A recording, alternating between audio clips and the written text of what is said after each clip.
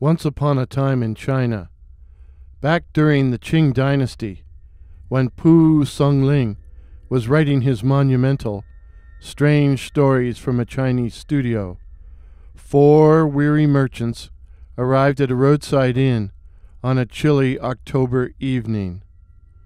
The men were tired and hungry and wanted food and a place to sleep.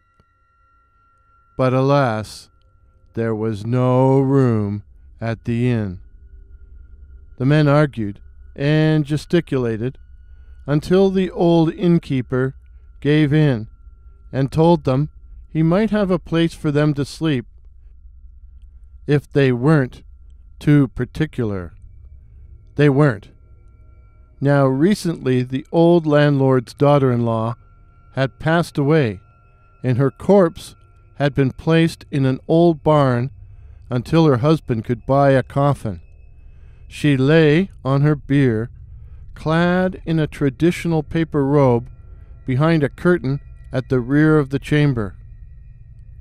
After a hearty meal of noodles, steamed rice, and warm sweet wine, the four merchants returned to the barn, where sleeping couches had been set out for them and a lantern left on a table by the front door. The exhausted men fell upon the couches and were soon fast asleep, all except for one.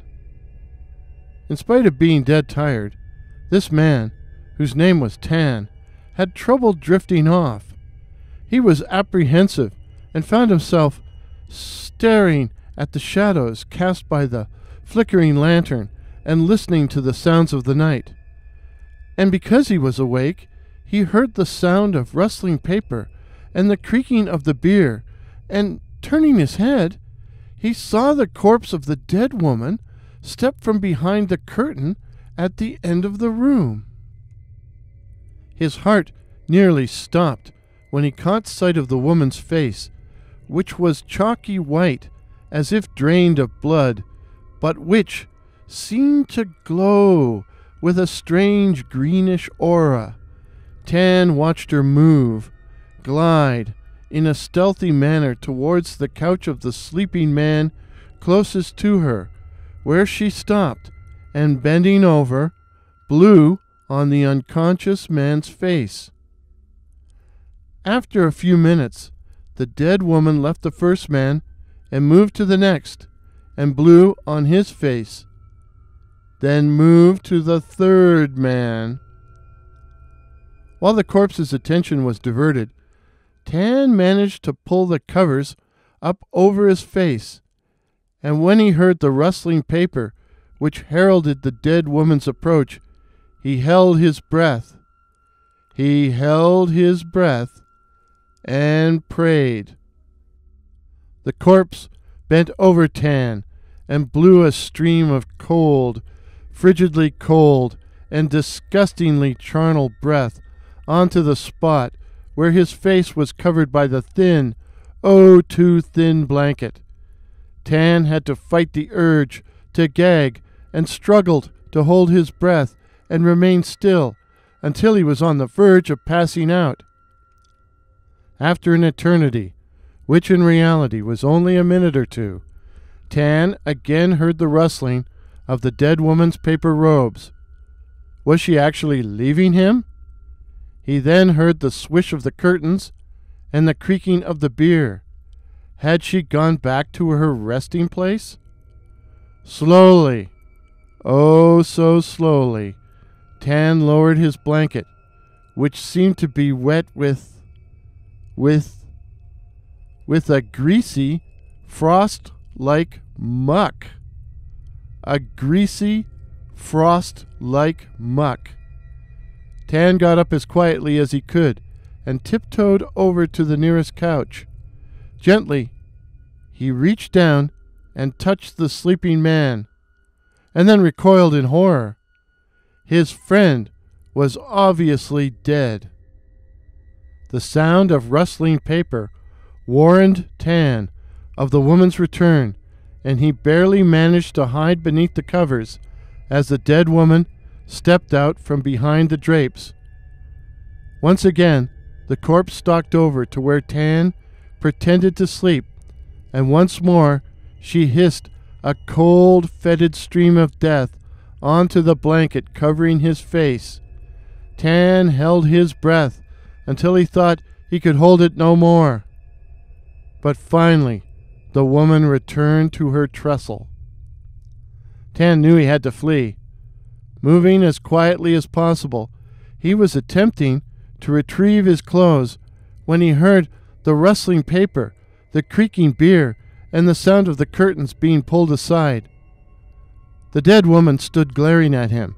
Then, shrieking like a banshee, attacked, arms outstretched, each of her fingers ending in a red painted nail as long and as sharp as a dagger.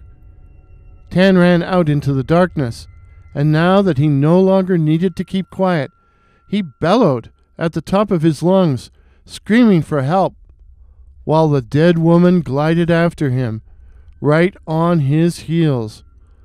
Arriving at the inn, Tan pounded frantically for admission, but he raised such a clamor the people inside refused to open the door.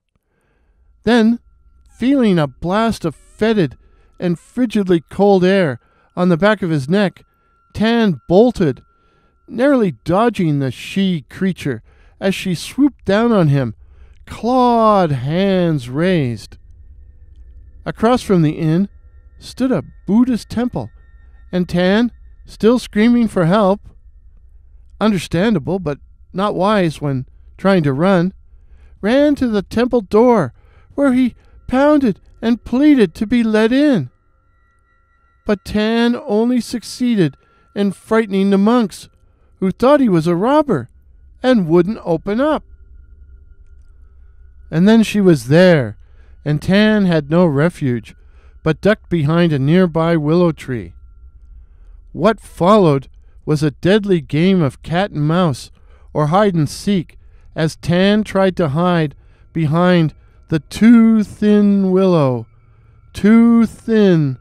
The corpse would lunge at him, and he would dodge her, over and over and over and over, feigning, dodging, and ducking, until his body was covered in sweat and his breath came in gasps. And then suddenly, the woman stopped dead and stood stock still and pounced. Tan passed out, passed out from a combination of exhaustion and sheer terror. And at first, when he regained consciousness, he wondered if he too was dead. The corpse loomed over him, dead again and reduced to little better than a dried out mummy, her claw like nails stuck into the bark of the willow holding her, holding it, upright. The monks had emerged from the temple at first light, and upon finding the dazed man and the dead woman, immediately sent for the magistrate, who ordered the remains of the corpse burned. Tan quickly recovered, but went to the magistrate in tears. Four of us left our village together, but if only I return, the people will think I have done away with the others, murdered them for their money, for their cash. What shall I do? And so the magistrate gave Tan a certificate testifying as to Tan's innocence and explaining that the murdered man had fallen victim to a resuscitated corpse a resuscitated corpse. If Tan had shown you such a document, would you believe it? Would you? Really?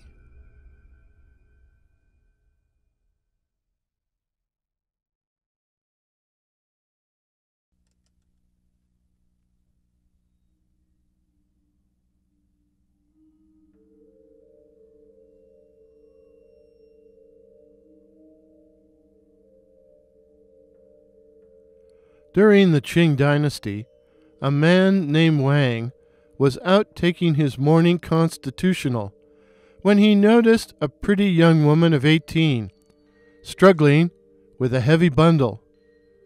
Being a gentleman, Wang inquired if he could be of assistance, and the young woman burst into tears. Wang gently asked as to the source of her distress, and she told him that her own parents had sold her as a concubine to a rich man whose jealous wife beat and abused her to the point she felt she had no choice but to run away. And now, now she had nowhere to go. Now, Wang was a kind man and, concerned for the young woman's welfare, invited her to stay at his home, which was nearby. The young woman readily assented, but warned Wang to keep her presence a secret for his own safety.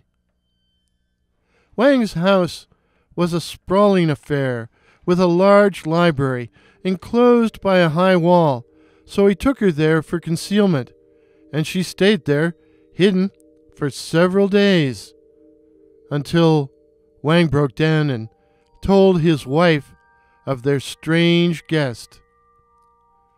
Wang's wife urged her husband to send the young woman away. She was afraid she might have run away from some rich and powerful family, and that Wang might find himself in considerable trouble. but he just laughed at her concerns, and the young woman remained secluded in the library. A few days later, Wang was walking through the marketplace when he was accosted by a Taoist priest who began sniffing him, and then followed his extraordinary behavior by asking Wang if he had recently encountered any strangers. When Wang said that he had met no one, the priest said, Then why are you bewitched? When Wang laughed in his face, the priest became angry and said, Fool! Don't you know you're near death? Wang walked away with a smirk, figuring the priest was merely trying to sell him a lucky charm against demons. Still, he had encountered a stranger recently, the young woman. He decided to question her to see what further information he could learn as to her background and situation, in case something was truly amiss. But when Wang attempted to enter the library, he was unable to open the outer door, which forced him into the undignified extremity of having to climb the outer wall. Once inside, he found the inner door to the library tightly locked as well. Greatly alarmed, Wang refrained from knocking on the door, but moved to a nearby window where the young woman had her makeshift bedroom. And looking in, he froze. Within, a demon with a greenish face and body and a mouth full of black, jagged fangs was hand painting, was touching up and repairing a human skin.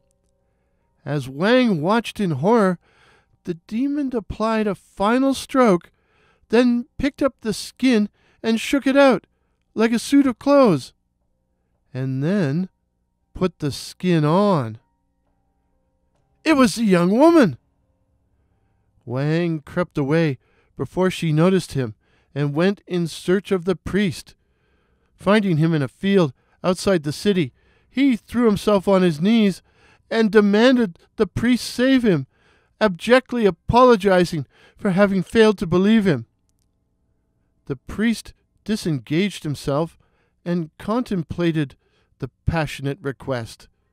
Finally, he said, This creature must be in great distress if it has chosen to hide by taking on human form.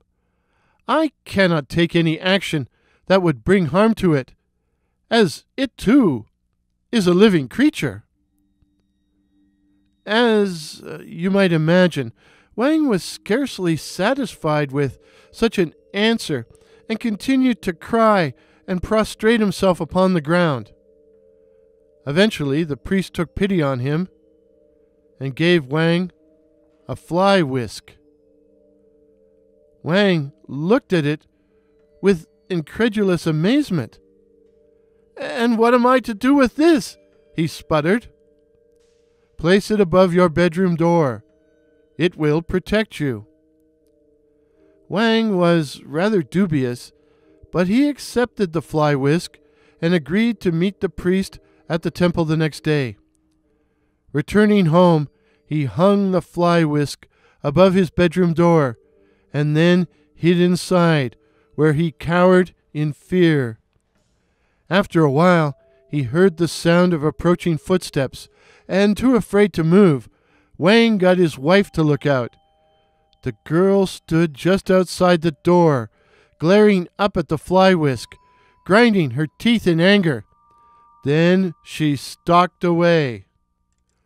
But before Wang could breathe a sigh of relief, she was back screaming, So, Sir Priest, you think you can defeat me? I claim this man. He is mine, mine.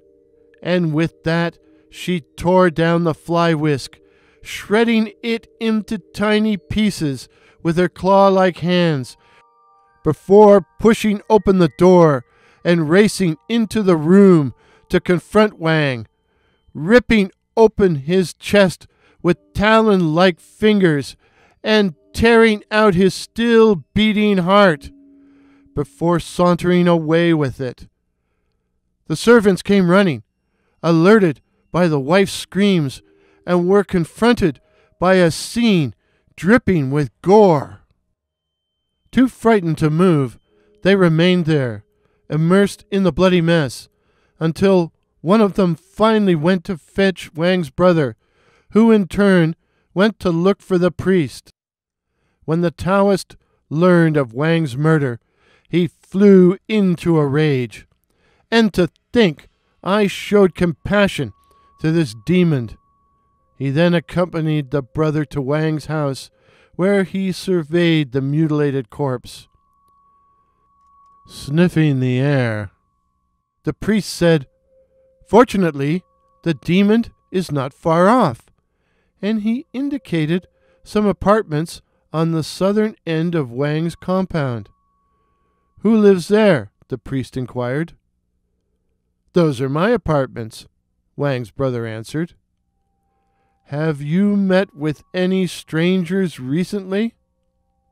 Strangers? No. None at all?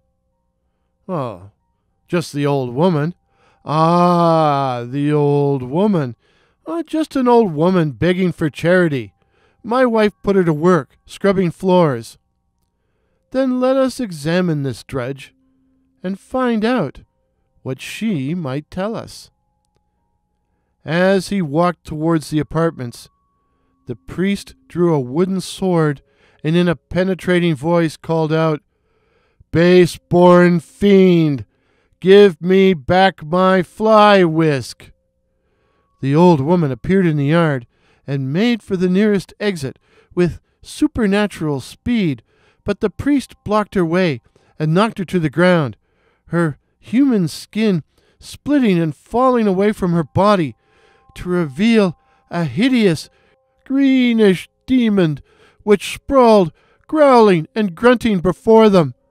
The priest raised the wooden sword above his shorn head and whacked the demon's head clean off. The demon's body then began to twist and writhe and turned into a column of thick, acrid, greasy black smoke. The priest took a small gourd from his robes and held it towards the smoke, which was sucked into the vessel, which the priest stoppered with a cork before returning it to his robes. The priest then gathered up the skin the demon had used as a disguise. It was complete, with eyes, ears, nose, hands, feet. Carefully, he rolled it up and tucked it under his arm. But what of my brother? Can you bring him back to life? The priest shook his head. No, but I have saved him from the demon in the afterlife. And then he slowly walked away. Perhaps he smirked.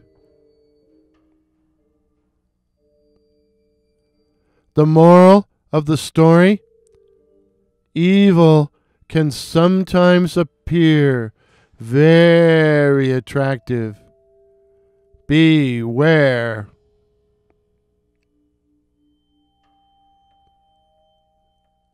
If this is your first visit to my channel, please consider subscribing. My name is Warren, and I write and tell original ghost stories and original horror stories featuring such cryptids as the Night Floaters, werewolves, and the Black Eyed Children. So, again, please consider subscribing. Till midnight, cheers. Text used today courtesy of Project Gutenberg. Pictures, courtesy of Pix Here, that's PX Here, while the music was the phantasmic Ghost Story. Ghost Story by that patron of YouTube, the wonderful Kevin MacLeod.